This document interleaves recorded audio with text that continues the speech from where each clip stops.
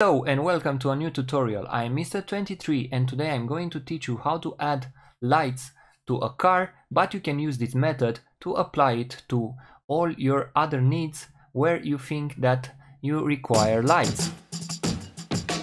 First thing that we're gonna do is uh, create a new layer but we are going to create it from uh, the menu so press the layer menu new and layer and then choose overlay and check the fill with 50% uh, gray. Now take the brush tool by pressing B and then select the white color.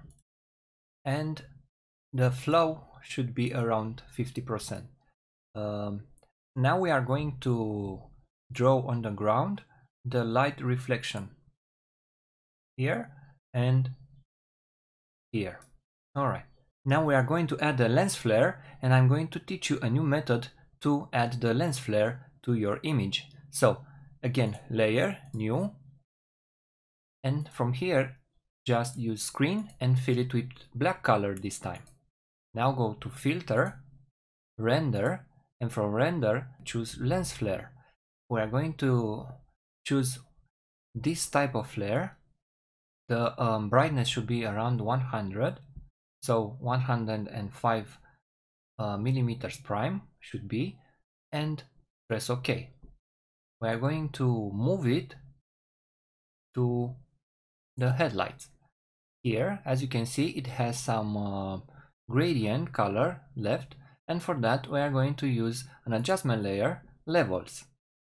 We are going to clip this adjustment layer into our lens flare so hold alt and click between the layers and uh, now we are going to lower the colors.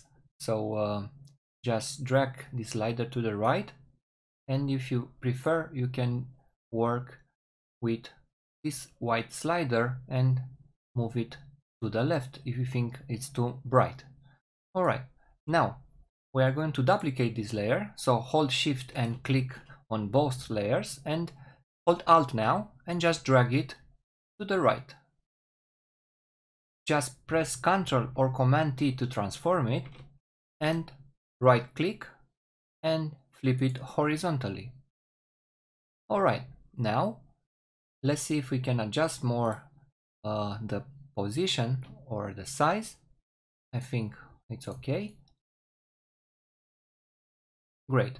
Now, the next thing that we are going to do is um, to add some colors to our lights we are going to use again layer new and um, this time we are going to use color dodge and fill it with black. Choose an orange or a, a red, I prefer something like a uh, light orange and use the brush and be sure that the flow is really really low somewhere around 3-4 percent and just paint where you want the color to be I will um, increase the brush size and I just press once, two times on the image. Alright, now, next thing that we are going to do is add more light to the sides of the car. So just create a new layer and take the polygonal lasso tool and just draw where you think the light beam should be. I think something like that. Alright. Now fill this selection with white, deselect, right click and uh, convert this to a smart object and now go to filter, blur gallery and choose field blur. As you can see it already has an adjustment here on the center of the image and uh, we can use this one if we want but I prefer to set it to zero and click here on the let's say top part and uh, choose something like 25% depending on your image size. And here at the end on the bottom part I will make this one uh, even brighter. Alright let's click OK. And uh, I think this of course is too bright.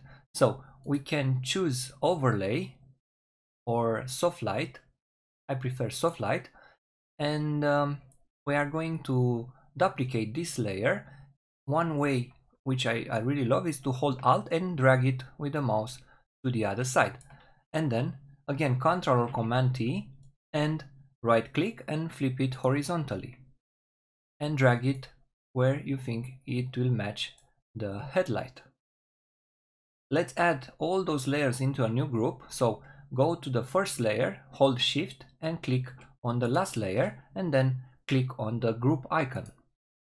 So until now we have um, this which is before and now we have this one which is after. I think those uh, beams of light are too bright so we are going to lower the opacity um, something around 30% uh, to both of them okay and let's create a new layer. So layer new and choose from here again a screen with a black background. And now go to filter render and choose lens flare. But this time we are going to use the movie prime. And you can play around with the uh, rays of light but I prefer this type. So uh, we can drag it again where we want it to be but I want to add some blur to it First, I'm going to right click and convert it to a smart object. I always use the smart object method because if I apply a filter, I can always modify it if I prefer. Because otherwise, if it's not a smart object and you apply a filter, you'll see that you cannot modify it later. So I choose to convert it in a smart object and then I can play around. So now I need some Gaussian blur to make this less visible. Okay. We can uh, Ctrl T to transform it and you can rotate those rays in a position that you love. And also we can duplicate it by holding Alt and drag it to the right. And of course the same method with Ctrl Command T and then flip it horizontally. And drag it where do you think it matches the best position. Now let's hide a parts of the rays. So this one, I want to add a mask. So I'll hide, um, okay, the flow is too low. Let's make it 100%. And I will uh, hide a parts of the ray beams. Now I'll do the same thing to the other one, to the right one. And okay, and of course, I can rotate it if I want. Control Command T to transform it, and you can rotate it in a position that you love. Also, you can do the same thing with the left one. Now let's add more colors to make this more intense. So choose layer new and then let's use overlay this time. Okay, uh, let's paint with uh, orange a bit. Okay and then with blue we can choose uh, to paint with blue around the center of the headlights. And create some beams around. Let's see the result so this is after and this was the before. At the end, if you think the uh, lights are too bright, you can lower the opacity of the group. Alright, so please leave me a comment if you learned something new today and don't forget to like and subscribe to my channel.